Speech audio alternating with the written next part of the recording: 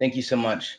Um, I, I really appreciate what it takes to put on a virtual conference, especially when you weren't planning on going virtual. So um, I would like to, you know, extend a thank you to all the organizers uh, because it's a lot of work. First planning a, a in-person con and then transitioning uh, to virtual only con, but obviously it's for the better of the community. So it's something that had to happen. So thanks again. Uh, my name is Adam Schaal, and today I'm going to be talking about climbing AppSec mountains.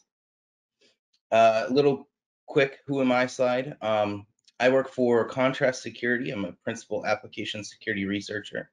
Uh, there's my uh, Twitter handle and website if you wanted to follow along with my work or follow up with questions after the talk. Um, of course, uh, like our um, like our intro said, uh, um, if you have questions during the talk, feel free to put them in Discord. Um, I'll go ahead and follow up, and I'll be in the breakout room after the talk. So, uh, some of my hobbies include spending time with my family, my two kids. Um, they're told not to come in here, but who knows? Uh, we might have um, a visitor or two, uh, as it is with virtual conferences. Uh, I enjoy home lab, home automation, I'm a KernelCon board member, which is a conference in Omaha, Nebraska. Uh, we also had to go completely virtual this year. So, like I said, I feel the pain of the organizers. Um, and I, I, enjoy participating in CTF competitions. Uh, quick little inspiration about this talk. Um, uh, in the past, I've worked for some huge companies, um, big Berkshire Hathaway conglomerate, uh, worldwide data provider, cable services conglomerate. All of these companies had um, a huge staff spread across spread across uh, spread across the nation, sometimes the world. And um, I worked at these places and uh, just got a feel for that large corporate lifestyle and uh, did some application security. I worked on some internal application security teams, some internal software teams. Uh, but now I work for um, in a startup essentially. There was about 150 employees when I started. Uh, we have about 300 employees right now, but um, it's just a world of difference. And so it's really I was able to reflect back on my time at a big company, and I was able to um, kind of uh, come up with some some uh, resources and some tips and tricks uh, when you work at a big company like that and uh, and develop this uh, develop this talk. So uh, now you might be wondering why a kid from Nebraska is going to talk to you about climbing mountains, but just wait, it's going to make sense. So uh, first, I'd like to introduce you to AppSec Ned. Um, AppSec Ned is just a he's a application engineer. He's a representative of many internal application uh, security engineers into one easy to draw uh, person. Uh, he works for a large enterprise and he's starting an internal application security team at, um, at this large enterprise. And he's happy that his company is prioritizing application security. And like all good security personnel, AppSecNed is on Twitter. So if you're interested in following along um, with his journey, uh, he he likes to make his way around the nation, talking about the perils of uh, creating mountains for your internal application security teams. So, uh, but he had so when when he joined the team, he was given some directives, uh, and th this is kind of generic directives given to all internal application security teams. Uh, first, he had to ensure that all code bases are secure, uh, including all open source software utilized. Um, he had to ensure all future development is secure. Uh, and his board heard the term shift left with future development, so they, they, they made that a priority, uh, which is also um, a, kind of a buzzword. We'll, we'll talk more about that later if you haven't heard of it, but uh, if you're in application security, I'm sure you have. Uh, he has to train software developers in secure coding practices and minimize attack vectors in external facing applications. So Ned Ned has these directives given to him, and uh, but Ned has some industry challenges, right? Uh, two out of every three applications fail to pass initial tests on the OWASP top 10 and the SANS 25 standards. That's incredible. Like 67% were more applications will fail on the initial tests. Um, the average time to remediate an application vulnerability is 171 days. Now, that's the average. There's, of course, outliers, but that seems like a really long time. That's over five months.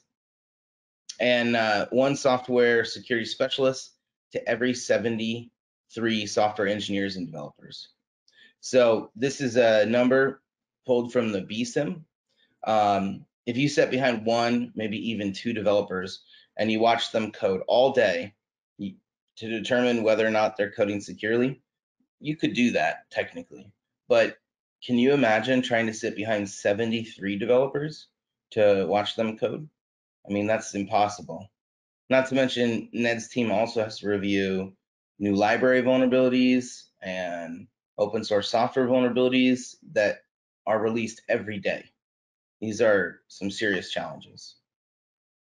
Also, um, all of the most common vulnerabilities over the last five years are still just as prevalent today. Uh, these five vulnerabilities were the most common vulnerabilities in 2015, and they're the most common vulnerabilities in 2020. What does that mean? Well, that means that our software teams aren't necessarily learning, right? These are typical mistakes that are still made today. And if you have people who aren't learning or gleaning information from training, that's a problem, right? We would expect that these would fade away and uh, there'd be a new set of the next five top vulnerabilities. That hasn't happened. In addition to these type of challenges, um, also the typical application uh, has a ton of challenges. So in a typical application, this is a this is maybe a little convoluted slide. Let me uh, let me describe it here. In a typical application, 21% uh, is custom code, and about 70 70% is like is unused library code across 30 or more libraries. That's the kind of code that um, gets pulled in with a library and really just isn't utilized.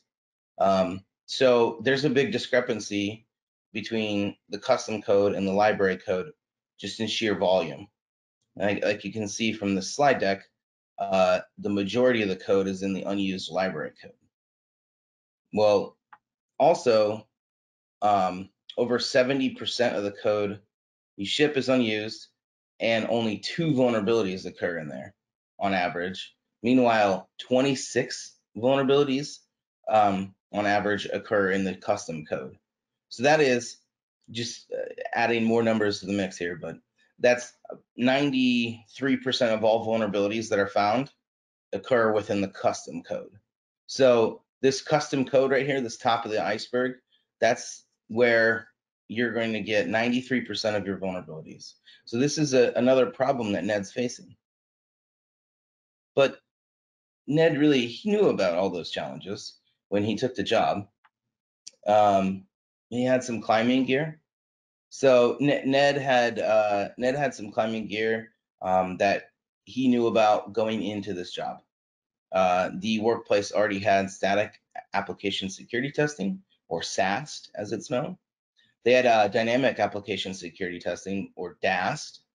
They also had a web application firewall, and they had a compliance team.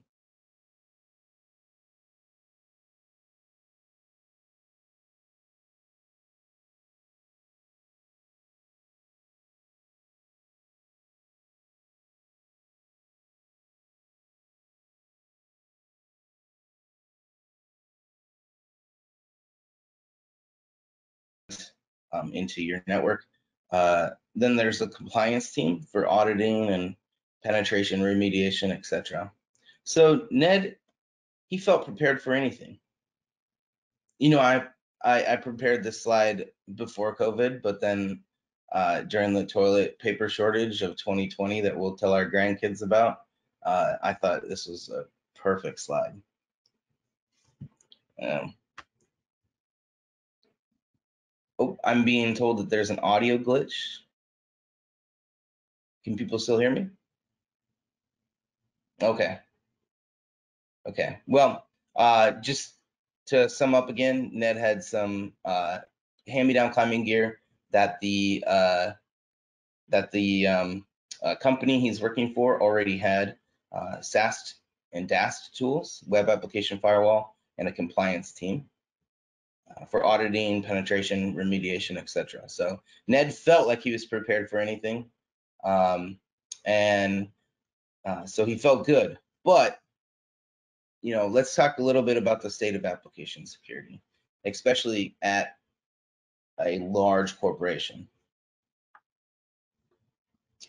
Uh, there's a lot of hidden challenges. I'm going to go back to the iceberg type slide here, um, where Ned is aware of the top of this iceberg, basically. He's aware of some of the challenges, but there's a lot of hidden challenges associated with working at a big company, um, including old tooling, uh, mergers and acquisitions, new products and new technologies, workplace shifts, and inflexible developers. So th these kind of challenges exist. Um, they're much more prevalent when you're working at a bigger company. And I'm going to discuss each of these and how AppSecNed can um, overcome challenges like this. So let's talk a little bit about old tools. This is uh, trigger warning for some people, but um, here's here's some here's a application security timeline, and there's uh, there's more uh, to the right here, and there's even more to the left, but I want to focus on this time period real quick. Um, basically, uh, penetration testing uh, became popularized in 1999. Uh, the OWASP, OWASP Top 10 was formalized and introduced in 2001. Uh, but what, what else do we notice here? Um, the four the four uh, things that we just talked about as um, as his climbing gear, they're uh, they're old. They're more than 17 years old. This is when they were introduced. That's not to say that uh, Ned's team is using a static analysis tool from 2002, but technology uh, hasn't hasn't been introduced from hasn't changed really since then. There, there's there's been new stuff, but Ned's team is still using these kind of tools. And uh, this is 2002 to 2003 timeframe, and you know we're in 2020. So that's these are old tools that he's using. And what's what's wrong with old security tools as long as they're getting updates, right? Well, they can be slower. Um, they can be slower both with scanning and remediation. Um, I know for a fact that one of the SAST tools I used at um, I used at a previous employer uh, when we needed to update the tool, we had to contact our IT because they owned the server uh, and we didn't have permissions to get the machine key. So they'd go and get a machine key um, for the server that it was running on. Then they would uh, provide us the machine key. We'd open a ticket with the SAST provider. They'd create the new SAST tool uh, keyed with our machine key so that we can utilize it. They'd give it back to us. Then we'd have to open a ticket with our IT support to install the new upgrade. That takes forever. And people were hesitant to jump on to upgrade these tools. Can you imagine how many vulnerabilities you might miss during that process? You're waiting on people, you're having to open tickets.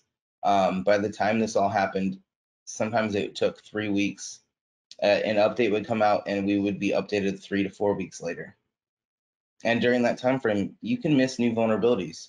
I mean, just think about the last week. Uh, anybody see the um, show of uh, emojis on uh, on Discord? But anybody see the most recent like um, RCEs? There was a F5 one, a BIG-IP one. Uh, there was several within the last week um, in some big corporate type tools. And if you're taking four weeks to upgrade your tools, you're going to miss stuff like that. And you're going to miss vulnerabilities. Another problem with old old tooling is alert fatigue. Uh, tools were, got really good at telling you when something could be wrong. Uh, they got they never they never really learned um, basically how to tailor those alerts. So uh, oftentimes with SAST, you you end up getting overwhelmed with alerts. Not to mention web application firewalls. Um, web application firewalls, uh, that's mostly just a regex search uh, against the inputs, and we're going to uh, um, we're going to talk more about that, but that really causes alert fatigue as well.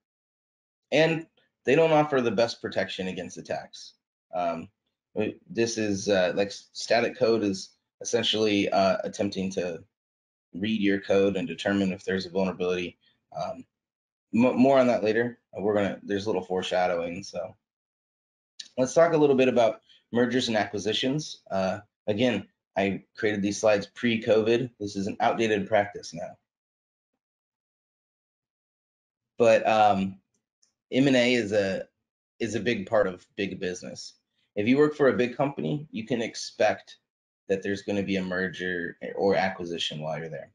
It's a, it's natural, uh, especially if your company is publicly traded.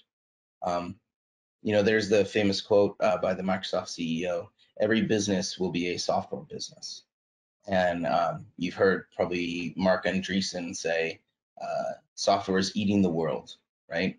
Um, every company is having have some they they all have some sort of software component to them now and when you're acquiring another company you don't know what you're inheriting. Uh, it could be terrible software could be garbage servers etc uh, and that's a major problem for internal application security teams.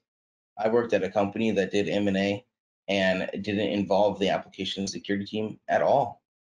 And again, that was the big problem because what we ended up what ended up happening was we would inherit something and we'd have to spend you know uh, a full-time employee essentially fixing their code. Uh, because we just inherited somebody with uh, you know 40 uh, critical vulnerabilities including the most basic uh, uh, one or one SQL injection. Like we inherited a company with a problem like that. And so there was there was a lot of um, heartache a lot of grief and this is a, this is a major problem industry wide and when you think about application spread um, large organizations they already have more applications than the industry and now they're doing m&a to just add to ned's pile of ever-growing work here's let me just uh let me just bring that in real quick here. Here's here's the differences, right? Industry wide. So that means um, organizations with uh, a single owner to organizations with um, thousands of employees, 5,000 plus employees. Look at the difference here. Uh, the the numbers down here uh, next to the color, those are the number of applications that your company has industry wide, across the whole industry, more than half of companies have less than 200 applications. But when you are looking at a large organization with 5,000 plus employees, the majority of those, 36%, have over a thousand applications. I mean, you're talking about time tracking software, internal applications, you're talking about external facing websites, external facing software every one of these applications is included in this. Um, and that's a huge discrepancy, right? Uh, when you're looking solely at a large organization and the majority of those have over a thousand applications, that's a huge difference. And now they're adding more, right? Through mergers and mergers and acquisitions, they're adding more company, more software, more applications. And uh, and when you're acquiring another company, you're not adding just one or two applications. You're adding their entire software stack. Uh, you know, you're exposed in the entire way that they're exposed. You know, if they have a bad infrastructure, you're, you know, that you're inheriting that. We had, um, in my experience, we had uh, a, a spot where we were acquiring another company. It was a smaller organization and they were able to pass PCI compliance through a self check because they were small enough. when you're small enough, you can basically fill out a worksheet and they'll say that you're PCI compliant. And we went and looked, and uh, they would have failed, or they would have made us fail our, our PCI compliance. So we couldn't acquire them until after uh, we went through our PCI um, compliance uh, audit because uh, we would have failed. So we, we had to finish our audit before we acquired this company because just by acquiring them, we were going to fail our entire audit. And then, then we had to go and fix all of their stuff over the course of the next year. And that's a challenge. And that's a challenge for AppSecNed. Uh, let's talk let's talk about new products and new technologies. This is this is a popular topic because there's always something bigger and better and better and best out there. Um, I mean, let's face it, software change is constant, and I don't, uh, I don't mind that. I mean, that's that's a good thing. We want software change to happen. I mean, it's usually for the better, right? Just here, I, I show like you've got your agile, um, you've got your DevOps, uh, you have your microservices, uh, you've got your cloud providers, uh, Azure, GCP, and AWS. You've got your uh, continuous integration platforms like freaking Jenkins, uh, GitLab, and GitHub Actions. Um, you have your containers, Kubernetes, Docker. I mean, these are these are all happening, you know, and things are just continually add to the software stack. It's not necessarily a bad thing. Like I said, these are great. I love Docker containers. I love the ability to create my own app that just spins up in a in its own container and I can just kill it um, whenever I need to. I like continuous integration platforms. These are these are good things, but let's talk about the problem with that, right? Uh, so as as Ned is noticing here, his mountain is starting to get a little bigger. You know, it started with the old tooling, the mergers and acquisitions, and now new technologies. Um, new products and new products and new technologies. I mean, what's the new hotness, right? Um, here's an example: uh, Rust, Go, uh, Kotlin. Um, Rust, the funny thing about this Rust logo is uh, I don't play video games, and for the longest time in the slide deck, I had uh, I had the Rust video game logo until somebody somebody told me last week. I thought that was pretty funny. But um, these are all these are all new hot languages, right? I don't want to discourage innovation, but encourage consideration, right? Um, when you have these new technologies, chances are Ned's existing tools don't cover it yet, right? Um, in 2008, I think, is when Go came out, and Go is just starting to get uh, wide acceptance into tools nowadays. And it's been, it was invented in 2007 okay, here's a note I have. It was invented in 2007 and it launched in 2009 as open source. So it's been around for 11 years and tools are starting to just like have a wide acceptance of Go, for example. So when a new language comes out like Rust or Kotlin, I mean, those two aren't very old. Uh, you know, how long will it be before we have tools that support that? It could be a while, right? So again, we're not discouraging innovation here, just encourage consideration. So we'll talk more about how we can handle that, but this is just adding to Ned's challenges. And these mountains are getting bigger and bigger. And um, Ned was aware of some of the industry-wide challenges, but these challenges at these big companies, um, where it's the wild, wild west, and developers have the uh, latitude and to just do what they want, right? Um, is just adding to is just adding to his um, his stack. Let's talk a little bit about workplace shifts. Workplace shifts happen, especially with time. It's hard to ignore the facts, but there are several kinds of workplace shifts or relocations. Um, you know, older developers retire or move into new roles. Layoffs. I mean, layoffs are a big thing nowadays too. There's a when I'm on Twitter, there's a lot of people who are looking for work. Um, and, that's that's tough, right? Uh, sometimes layoffs are even accompanied by overseas hiring. So that that's why I didn't call this just uh, just um, workplace loss, but I called it workplace shift because uh, sometimes you have people going out, uh, sometimes you have people being replaced, and and that kind of thing happens. It's it's natural. Um, you know, it's a it's a crappy thing to talk about, but um, it's it's it's natural and it's even more natural at large corporations. Uh, this is this is to be expected, and um, you know, Ned has Ned has a problem with workplace shift, right? Uh, Ned has to train new employees, uh, sometimes in remote locations, uh, whether it be a time zone difference or a language barrier. It's tough to work with new employees directly. And how do they retain the knowledge of the departing staff?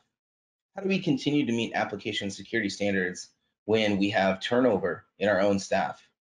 Um, these are challenges that Ned faces with workplace shifts. Um, what about application security secrets? You know, when you have uh, when you have people getting laid off, how does Ned um, Ned has to concern himself with application security secrets? Um, you know, if, if we lay somebody off, Ned also has to worry about you know a disgruntled employee. So these are these are things that you know Ned has uh, to keep in the back of his head. And, and those mountains are looking big and he's looking nervous now. Lastly, uh, this is a topic everyone loves to hate, but inflexible developers. Um, I was a developer. I was a developer for almost nine years. So I have a, a lot of experience with development teams um, and application security teams. So what is an inflexible developer? Well, um, here's an example. Uh, inflexible developers see security as a blocker, right? And uh, and that's a problem. Uh, security and tech debt will grow. Sometimes engineering fights to backlog security, and sometimes findings are swept under the rug, right? If you give, there's only so much latitude you can give your developers. If you give them enough permissions to um, to ignore a finding, or to claim that a finding is not an issue.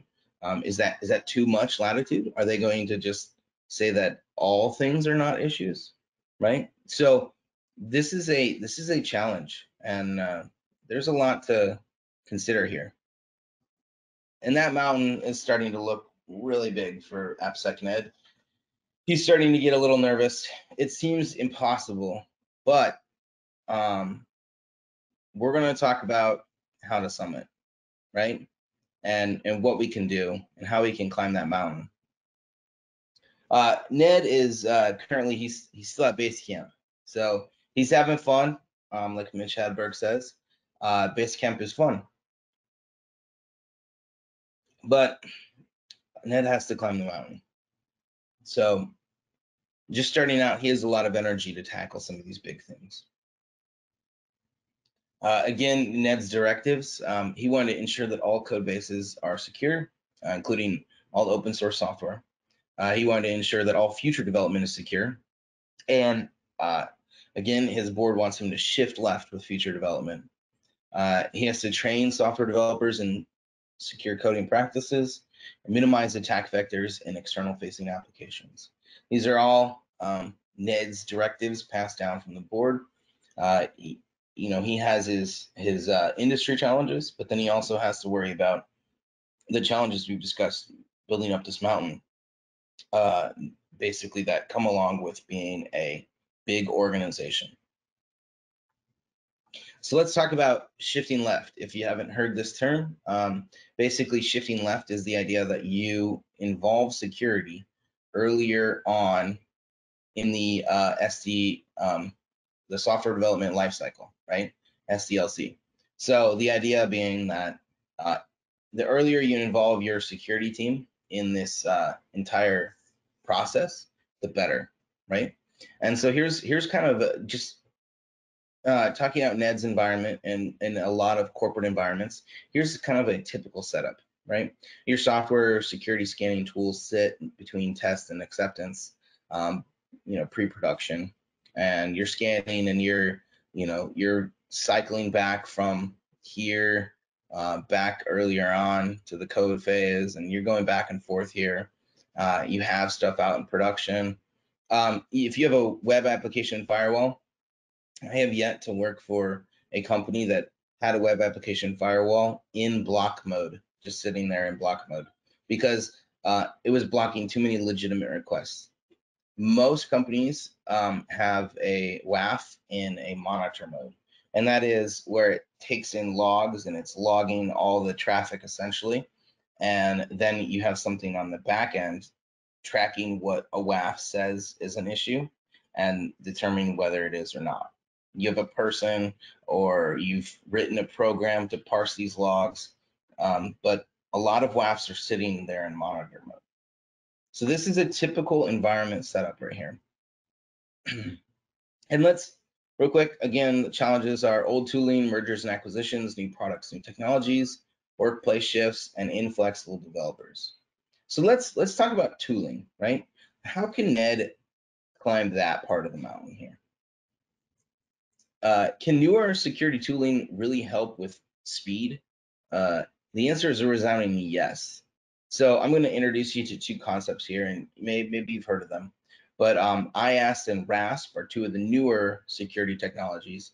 Uh, IAST is an interactive application security testing, and RASP is a runtime application self-protection. Basically, uh, you allow agents to instrument the code bases to both provide security against attacks and allow for more expedient remediation by pinpointing issues. Now, let me talk more in detail about that, right? Um, with an IAST solution, you can detect vulnerabilities with instrumentation uh, to observe applications as they run during testing. Uh, you can assess the security of code, user interaction, user interaction, libraries, frameworks, backend connections, and configurations, and essentially perform continuous and real-time uh, application security testing uh, throughout the entire lifecycle. This means that developers get immediate feedback. And some IAST solutions have route intelligence, basically completely mapping each route in the application. When you think about pen testing, right? There's the old uh, there's the old routing. Um, when you're when you're routing a web application backwards, right? You're thinking, okay, what are my avenues of attack, and how can I attack this application? Um, and I an IAST solution routes it forwards, so it routes the entire thing from you know from initialization all the way to all the different possibilities of of where inputs you know occur and um, what code touches what code and that kind of thing uh, can really help when pinpointing issues. Uh, and RASP is another popular modern um, application security tooling. Uh, RASP can detect and block exploitation of software vulnerabilities. Uh, basically, it can differentiate between attack attempts or probes um, that can impact an application, uh, unlike a perimeter-based web application firewall. Uh, let me give you an example of that. Here's an example, right? Uh, you have two different inputs. One is a your most common SQL injection attack, and one is your most common cross-site scripting attack. Uh, if this is your code where you're essentially uh, setting a name, right? Uh, obviously, if you're familiar with um, with JavaScript, uh, this is going to result in a cross-site scripting alert. It won't result in a SQL injection. You're not touching SQL. So in this case, RASP actually instruments the code. Uh, it sees this input. It allows the input to go through. But once it gets uh, posted here back to the page, that's considered a sink. So it watches source to sink. And if something, if an input tries to escape a sink boundary, it will flag on it. So in this case, um, a WAF might block both of these because they both look egregious. But if you are um, if you are naming your team uh, after little Bobby tables or just having fun with an or one equals one. Uh, in this case, um, it would be fine, right? I mean, you have no problem taking this information and sticking it in as a name. Uh, so uh, RASP would watch this input and it would not escape the sink boundary. And of course, it would just paste it into the name. Meanwhile, uh, input number two here, uh, that's a problem and RASP would flag on it. So that's why it can differentiate between attack attempts and attacks that have actual impact, right? Um, it can also protect application runtime environments from unwanted changes and tampering. Uh, and again, we're tracing attack attempts from source to sink. Uh, so here's here's kind of some stats to back this up, right? This is a um, this is from Contrast and Veracode. Uh, the um, percent of vulnerabilities closed within one month of discovery, um, nearly 60%, almost double of the of vulnerabilities found with RASP tools are closed versus a SAST tool. And you might say, why is that? Well, eh, the reason is because RASP can more accurately tell you um, exactly what the problem is. And you have data to actually uh, track source to sink. Uh, and then also, you close more vulnerabilities with RASP faster. I mean, that's essentially what we're saying here. Uh, RASP um, has only 32% remaining after that three months of discovery. Remember at the beginning, I said industry wide, the average remediation time is 171 days. So after three months, you know, if you only have 30% left of your vulnerabilities, you've closed 70%. You're shortening that time, that window, which is great. Uh, meanwhile, SAST still has over half of their vulnerabilities have yet to be remediated after three months. So as you can see, definitely um, using modern technology and modern tooling uh, can definitely have a big impact on your vulnerability remediation. So I'd like to propose maybe shifting out, right?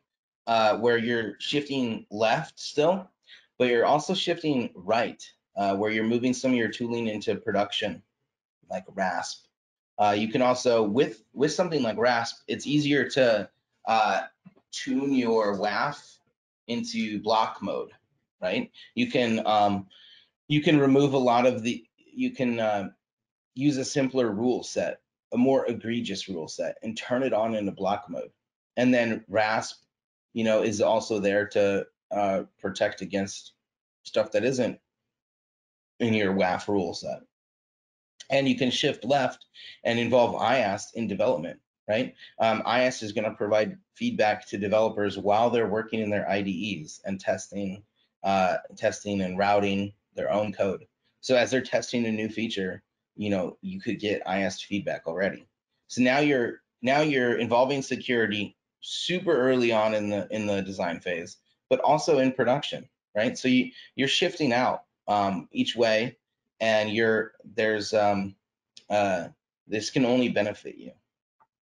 So Ned feels pretty good about that, and he's made his he's made some progress. Ned thinks that he has a good idea of where to go with old tooling, um, but he he still has a long way to go, right? He's this is I think Mordor uh, from Lord of the Rings. They they got you know they get on top of one little mountain, but they still have a long way to go. So let's talk a little bit about mergers and acquisitions uh, in, in my mind, this is the most obvious solution, but the hardest solution um, because you're essentially having to convince your executive level staff that you need to get AppSec more involved in M&A discovery. Uh, earlier, you, you heard me tell an anecdote about how uh, I worked for a company where we acquired a um, a company and didn't uh, didn't even get to check them out until after we acquired them and had their software in-house. Uh, it can only be positive if AppSec is more involved during the discovery phase. Let's think about this, right? Uh, if Ned discovers that something is amiss, I mean, theoretically, you can use that as a negotiation tactic. your C-suite uh, and your negotiators can lower total pricing if they say, hey, we're going to have to fix a bunch of your security issues. This is a problem. Um, also, it's going to give Ned the leverage to demand more headcount. If you think about it, and if Ned's team is able to identify security issues and it's able to potentially um, lower total cost, uh, then you um, you have the ability to uh, save the company money and and also tell them this is going to require more work, so I need more people. So, and if Ned if Ned discovers uh, uh, nothing egregious, then he can begin planning on onboarding. I mean, that you know that'll at least give them a little edge on onboarding. So uh, overall, you know, this can only be positive because involving involving uh, AppSec is either going to save you money or give Ned a jump start. But you do have to convince the C-suite, which is uh, again, that's what I found to be one of the bigger challenges. But uh, Ned, Ned feels like, hey, you know, it, it, if I'm, he's able to talk to his C-suite and uh, convince them using the the old adage that money talks, um, you know, and and we're going to either save money or save time uh, by involving my team. So Ned is not quite at the midway point, but he's making some serious progress now. So let's talk about new products and new technologies. How can Ned contain this ever-growing landscape of products for developers? It's sprawling, right? And it's not going to go well if you tell developers that you're taking away their ability to innovate, right? You can't you can't say to a development team like I'm taking away all of your administrative privileges because you you want to write something using Rust. That, that's terrible. That, that like that's that'll weigh in later during this uh, development AppSec relationship. You know, uh, again, I want to hammer this point home we don't want to discourage innovation, we want to encourage consideration. So how can the AppSec team work with the development teams uh, and and their managers uh, in order to basically um, basically create an acceptable eh, well to create an acceptable use policy here. So uh, Ned is going to he's going to create this policy and it's and uh, adding to it is easy, but it needs to be reviewed by an enterprise architecture review board or an EARB. Um, so essentially Ned's going to go through and he's going to whitelist a bunch of technologies that you can use. And if you want to add a new technology, uh, you just propose it to this e EARB board, right?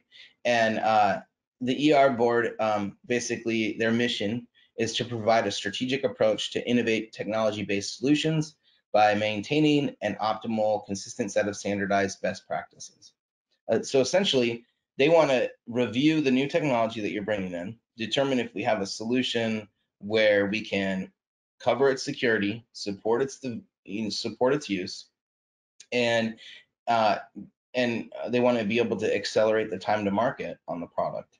So this is something that's enforceable then by compliance. Ned's going to take advantage of that compliance team that I mentioned uh, in the beginning as one of his uh, as one of his um, climbing tools. So the compliance will enforce this um, this list, uh, but adding to it is easy enough. So uh, we want to again allow developers to innovate, um, but we want to make sure that they're aware that you know their innovation is going to affect the company in some way, and so we need a team to review that. If we check in on Ned, he has now uh, he has now uh, conquered three out of the five challenges. Uh, let's talk real quickly about the workplace shift or the departed. Um, this happens. It's not always fun and not always with much notice. Uh, if Ned doesn't have advanced warning of a relocation or layoff, there's a few things that he can prepare ahead of time. Uh, you may or may not have heard of burn lists. Uh, basically, uh, it's a list of user accounts and where they exist. Um, this can be vast and take a significant amount of time, but the sooner Ned can automate it, the better. So uh, you'll want to make sure that you are aware of all of the user accounts that you're going to have to take, you're going to have to remove. The security operations are going to remove their, you know, their uh, Microsoft Outlook access, their VPN access, but you, want to make sure to also make sure to also remove any application credentials uh, that they have. Also, um, this is an interesting one that not many people do. I found a default credentials sweep. Uh, I worked at a company in the early 2000s that has a default credential in their production environment still. It's it's a credential that developers use to develop, uh, and uh, it's still out there. So Ned creates a default cred sweep, basically ensuring that any testing credentials don't make it up into production. So uh, workplace shift. Um, that, so what about new employees, right? I mean, that, that's how to handle the departed and try to, you know, retain that um, knowledge and, and worry about, you know, a disgruntled employee. But uh, what about new employees? Well, Ned has to use a training platform that works remotely and is easy to distribute. Uh, it's important that any new employee go through secure software development training before they touch code. Uh, so he makes it a part of uh, the onboarding process. Uh, Ned also creates documentation around standard best coding practices.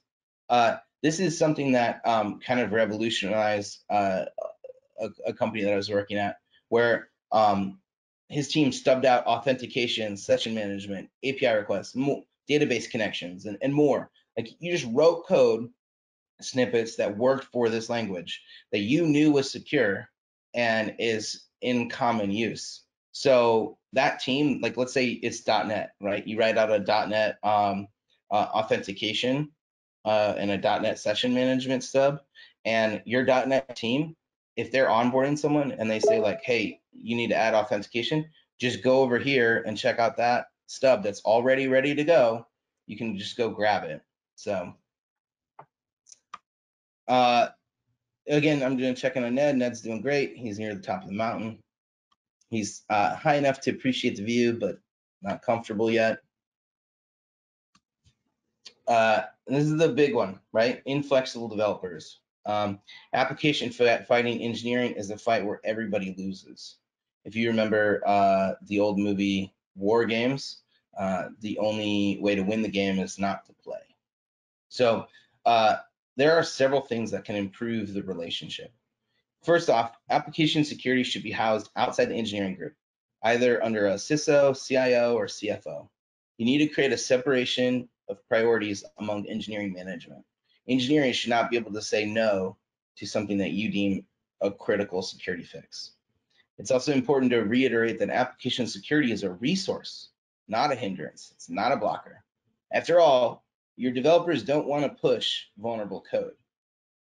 Uh, application security engineers should have development experience, in my opinion. Uh, this this set the Twitter world aflame when somebody tweeted this. Uh, it was like last year, but uh, they think that you know application security developers in particular should have development experience um, or extensive experience with code. I think the best way to become an application security developer is to be a developer first, and then you know gain the security experience um, and move into security and application security. So uh, why is that important? Well, think about how you can endear yourself to developers, right? You, you it should be a partnership between the AppSec team and the development team. Um, and think about ways you can, you know, endear yourself. Um, training can be fun. You could gamify competitions. I've hosted CTF competitions uh, for uh, my development teams. Uh, it can help bond each other. Uh, it can help the dev team, you know, learn and um, that you are an expert in your field. Uh, you could do secure coding hackathons, lunch and learn sessions, Q&A sessions, uh, provide lunch once a month. Uh, joint outings include development and team outings. I mean, this is this is crucial, right? It's a partnership, right? It you should if you're an application team member and you work with you know lots of developers in the same office post covid let's say uh, you should be having lunch with them you should be seeing them on a regular basis making friends with them because working with uh, working with people um, like that is going to make your relationship uh, less combative and more of a partnership right uh, ned happens to buy his uh, he buys pizza once a month, so Ned's over there eating pizza. So if you look at uh, Ned, he's he's he's um I think he's accomplished all his his directives, right? He's ensured that all current code bases are secure, including open source software. Uh, he's uh, ensured future development is secure. He's shifted out with future development. Uh, he's trained software developers in secure coding practices and uh, minimized attack vectors in external facing applications. So at this point, Ned, I'm going to call it Ned's Ned summited the mountain. Um, I wrapped it up about 53. So I have about seven minutes for questions and comments. Please drop them in uh, in Discord and I'll answer them. A German poster of the new guy. Uh, believe it or not, I couldn't find a good uh, suited suitable for work poster uh, from America. So yeah, is a German one. Uh, let's see. Open question. What's the best RASP tool? Do you think is out there in your honest opinion? Also, same with the IAST tools. Uh, well, Brian and Wobblebox, um, I work for a company that provides both IAST and RASP, and I work on the team that helps drive the um, innovation and product. So I don't think that's a very fair question because uh, I'm gonna I'm gonna answer it one way, and I don't want this to turn into a uh, a product supported talk. So um, I, I know that uh, RASP and IAST tools, there are several out there. Um, I know that if you are looking at an IAST tool, I would encourage one that does complete route intelligence uh, because I think that that's going to provide the best coverage. Uh, when you're looking at RASP tools, um, I think that configuration is important uh, and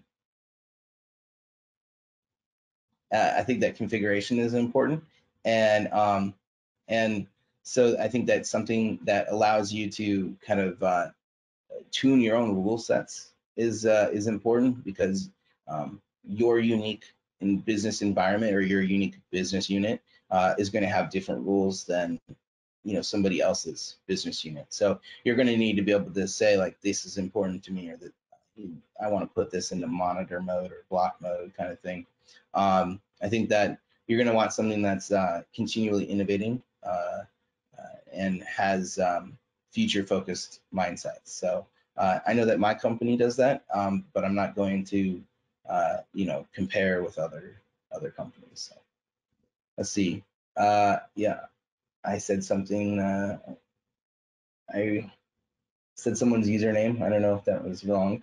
let's see here. Any other questions?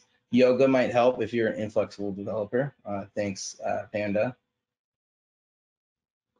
I was wondering why they keep telling the AppSec team down dog. I don't know if I follow that, Mark. Uh, feel free to clarify. So, uh, any other questions? Um, please drop them in uh, in Discord. I've got a few minutes left here.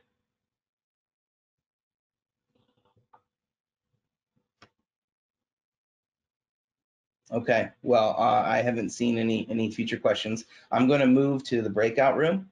Uh, I know that um, the next person probably wants to prepare. So uh, thanks so much. I really appreciate it. Uh, again, thank you to the organizers of uh, San Antonio. I really wish I could I could have visited San Antonio for the first time, but um, maybe next year. So thank you.